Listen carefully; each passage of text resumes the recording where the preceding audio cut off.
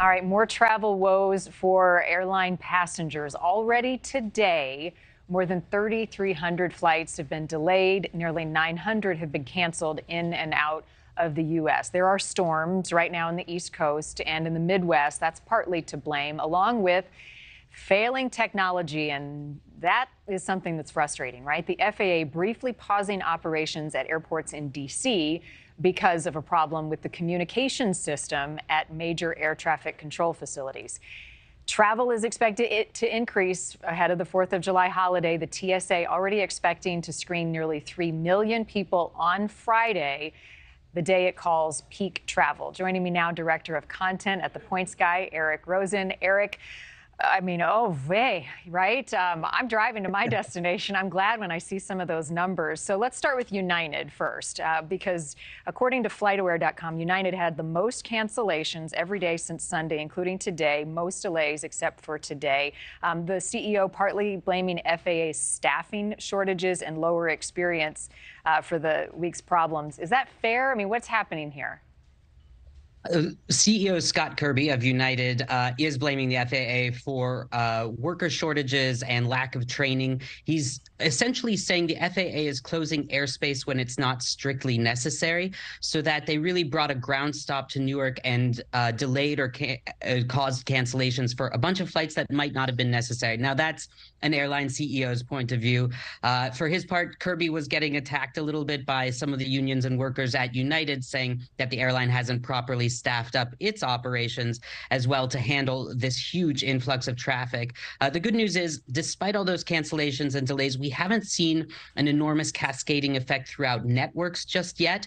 Um, I would just say consumers and passengers this weekend in particular really need to watch their flight schedules, keep on track of their plans, and make sure things don't start going haywire. If they do, they need to put some problem solving into action immediately right? I mean, trying to get on another flight. Now, weather we understand, right? We've seen the tornadoes, we've got severe weather across the Midwest in the Northeast. But what's the deal with this communication issue? How widespread is it? Communication in terms of the airline not communicating with right, passengers. Right, so they're saying communication the system with air traffic control. Uh, it seems like they're having some issues right now, especially with all of the the problems. You know, there have been storms up and down the East Coast and other parts of the country. Now we're seeing wildfire smoke uh, hitting the middle of the country, and it seems like the FAA staff is really stretched thin. So it's having a hard time directing all of that air traffic that airlines have ramped up for this holiday weekend in particular. Keep in mind also, it's not as easy as just switching flights or holding a flight and then having it, uh, you know, go to an airport later and then connecting passengers.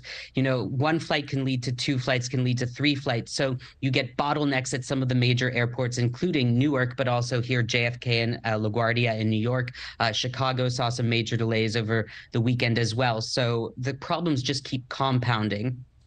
And can the airlines do anything right now in the interim to prepare for, you know, what next week brings with all these um, delays and cancellations kind of piling up on one another?